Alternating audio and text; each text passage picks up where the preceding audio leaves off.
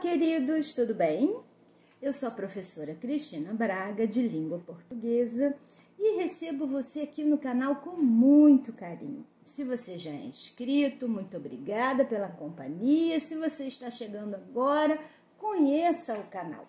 Nós temos aqui uma série chamada Leituras e Releituras. Muita dica de livro. Acho que você vai gostar de alguma dica e pode contar para mim. Temos aqui também videoaulas de língua portuguesa e de literatura brasileira. Temos a série Questões Enem, questões do Enem corrigidas e comentadas. Temos exercícios de língua portuguesa corrigidos e temos a série Jogos Pedagógicos para Professores. São jogos que eu vou encontrando pelas minhas buscas em livrarias e papelarias e bienais e considero apropriados para a sala de aula. É claro que eles nem sempre são para sala de aula, né, gente? São para reuniões de amigos, reuniões de equipe, mas dinâmicas muito interessantes podem ser feitas em sala de aula, por isso que eu trago a dica aqui para vocês. O de hoje é uma maravilha, vou mostrar para vocês profissão futuro. Está bem direitinho. Profissão futuro. De Ana Kelly Frota, Ruaina Ribeiro e Alessandra Sereguete. É da Matrix, né? E aqui vem a informação, sem perguntas para auxiliar na formação profissional. Aqui a gente já vai lidar com um público um pouquinho maior, né? Aqui atrás vem dizendo o seguinte: Neste livro, em forma de caixinha, estão 100 cartas, cada uma com uma pergunta, para levar o jovem à reflexão sobre as escolhas do seu futuro profissional.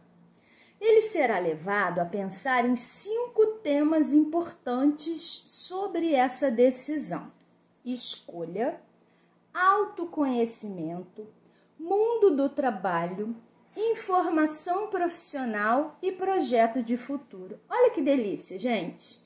Para trabalhar em turmas de nono ano, em turmas de terceira série do médio, que decisão importante é nós escolhermos a nossa profissão, na é verdade?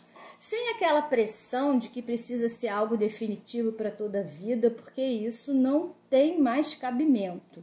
Nós precisamos ser assim felizes na nossa vida profissional.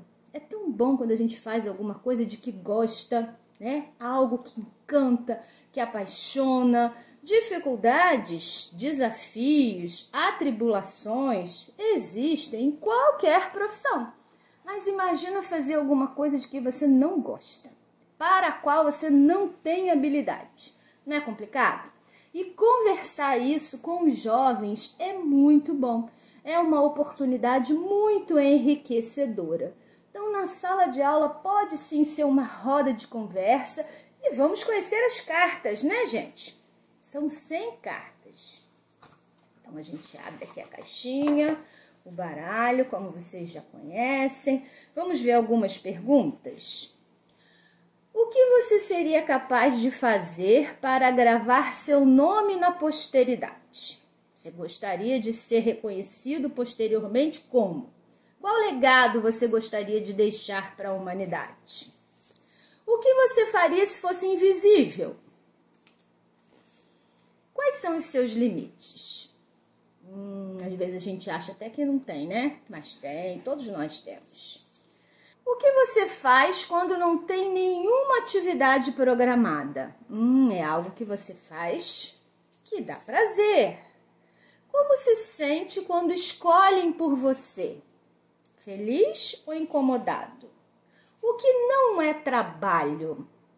Muita gente diz assim: ah, o meu trabalho é um presente porque eu ganho para fazer aquilo que me traz felicidade. Que bom, né? Mas outros dizem: ai, tenho que trabalhar hoje. Quais escolhas você prefere deixar para outra pessoa? Delegar, terceirizar. Quanto ganha um profissional que você admira? Ah, gente, ó, em sala de aula, você já tá pensando aí comigo, né? Que vai aparecer um monte de resposta jogador de futebol. Não é mesmo?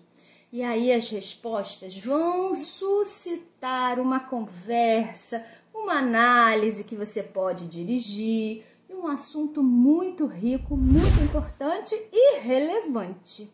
Então vamos repetir aqui os dados? Ó, profissão futuro, Matrix, Ana Kelly Frota, Ruaina Ribeiro e Alessandra Sereguete. Fica aqui a dica de jogo de hoje. Um beijo e até a próxima!